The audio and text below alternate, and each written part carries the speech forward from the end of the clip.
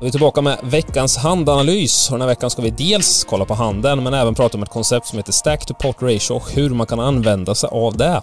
Eh, vi börjar med att kika handeln här. Det är eh, först och främst främst limpat från UTG här. Vi har slagit upp våran hand och eh, Dillinger, Smallband har synat och limpan har synat. Eh, vi floppar två par och nötföredrag eh, och härifrån så ska vi först och främst kolla på det här Stack to Port Ratio, vad det är för någonting. Och det är ju hur stora effektiva stackar vi har gentemot vad som ligger i potten. Och kollar vi på Dillinger här nu så har han ungefär 1200 marker i spel och det ligger 120 i potten. Så har alltså 10 gånger pott, alltså är SPRN 10. Eh, då, för att få in alla pengar eh, på River här, eh, så behöver vi betta ungefär två tredjedelars pott på flopp. Bettar vi sen pott på turn och pott på River så kommer vi få in alla pengar. Hade däremot SPRen varit högre, Eh, att SPL hade varit 13 som är ett gyllene tal där, då måste man gå pott, pott, pott för att få in alla pengar eh, SPR högre än 13 så går det inte att få in alla pengar i mitten utan att det är någon form av raceande på flop turn eller river. Eh, så där kan man använda sig stack to pot ratio av veta vad behöver jag betta för att kunna få in alla pengar på river och i det här fallet så är det ungefär två tredjedelar. Eh, till handen då. Eh, vi floppar jättebra här och med tanke på att vi har Klöverkungen också eh, det skadar oss lite. Man vill ju kunna få in det mot eh, nästnötfördrag.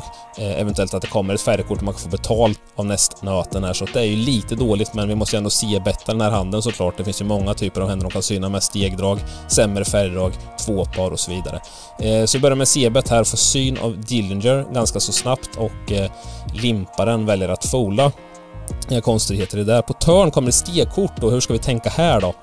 Eh, jo, för det första, när vi har slagit upp i den positionen vi har i Smallman här så kommer vi väldigt sällan ha de här låga korten 6-7, 6-2.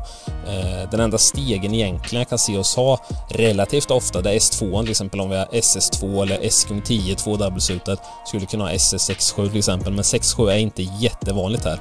Eh, och det gör ju att vi kommer behöva checka här väldigt ofta för vi har inte de här stegarna helt enkelt.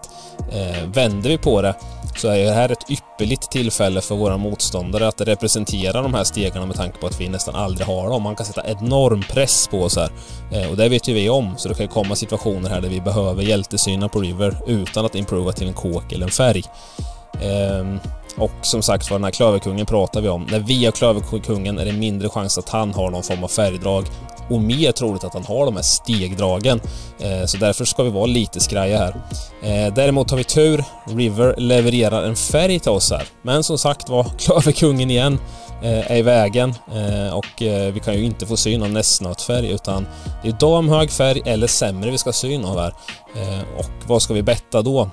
Ja, det är en bra fråga. Jag tycker ändå att vi ska betta hårt här och representera nötfärgen eller klöver-S-blocken här som vi mycket väl skulle kunna ha. Så jag väljer att betta ut eh, 505 här och eh, får till slut en eh, syn och slurpar i med en helt okej okay pott där.